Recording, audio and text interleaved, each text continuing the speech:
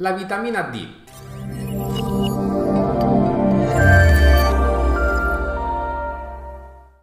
Prima di andare avanti ti invito a lasciare un like ed iscriverti al mio canale per non perderti nessuno dei miei prossimi video.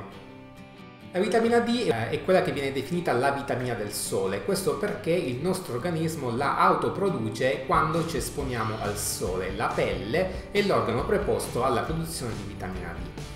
Il punto è che noi praticamente non ci esponiamo più al sole e perché lavoriamo sempre al chiuso, stiamo sempre al chiuso e quindi la nostra esposizione al sole è praticamente ridotta a zero. Anche in vacanza, quando andiamo al mare magari e prendiamo il sole per abbronzarci, mettiamo la crema e mi raccomando mettete sempre la crema, non esponetevi al sole senza crema perché è pericoloso chiusa parentesi, e esporci al sole con la crema blocca i raggi solari che sono preposti alla produzione di vitamina D. Quindi eh, cosa succede? Succede che praticamente la carenza di vitamina D è eh, endemica nella, nella, popolazione, siamo quasi tutti carenti di vitamina D, solo alcune categorie di persone hanno sufficiente vitamina D, per esempio quelli che lavorano all'aperto, ad esempio i muratori piuttosto che i giardinieri o i contadini che stanno molte ore all'aperto sotto il sole, spesso senza protezione, ecco che eh, loro hanno dei livelli di vitamina D ottimali, invece per il resto della popolazione, me compreso,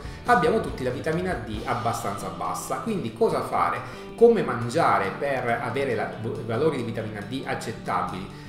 Purtroppo con l'alimentazione la vitamina D non è possibile ottenerla, o meglio, ci sono pochissimi alimenti che la contengono e quelli che la contengono ne contengono veramente poca. Ad esempio il salmone ne contiene un po', il tuorlo dell'uovo ne contiene un po', però comunque gli esempi eh, sono veramente pochi. Uno dei modi per ottenere sufficiente vitamina D è quella di assumerla sotto forma di integratore.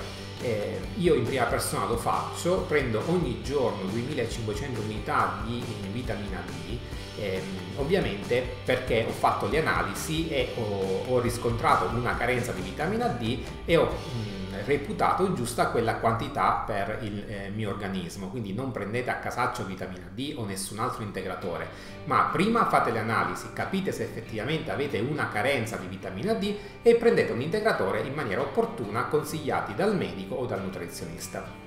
Però ecco appunto il mio suggerimento è quello di fare le analisi per valutare i livelli di vitamina D, perché nella stragrande maggioranza dei casi c'è una carenza. Bene, per il momento io mi fermo qui, un caro saluto e mi raccomando sempre carichi e motivati.